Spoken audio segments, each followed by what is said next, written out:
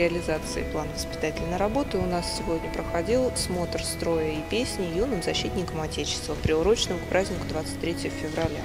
А, в принципе, мероприятие наше ежегодное, мы его проводим можно сказать, ежегодно, но в таком вот объеме с привлечением кадетского корпуса первый раз. Очень хочется при, э, привлечь детей, а, показать им всю мощь российской армии, показать им специфику служения Отечеству и как-то привлечь их внимание а, к данному направлению воспитательной работы. Ну а как это можно сделать? Конечно, только тогда, когда они сами могут в этом поучаствовать. Поэтому, соответственно, каждый класс готовился, готовил строевую песню, а, готовил рапорт.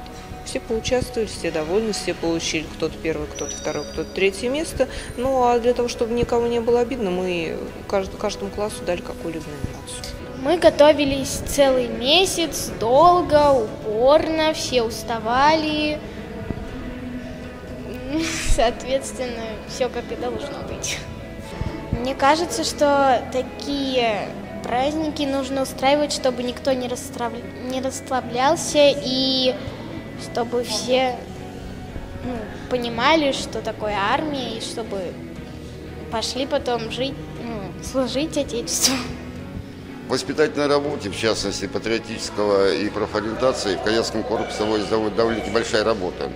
Но не только в корпусе. Наши кадеты уже немножко натренированы, и, соответственно, вот э, у подрастающего поколения, начальных классов и в некоторых школах даже 10-11 классы мы проводим такие мероприятия, чтобы сориентировать их ну, по внешнему признаку военного ну и, так сказать, показать дух наших кадетов, что они уже настроены на защиту Родины и Отечества.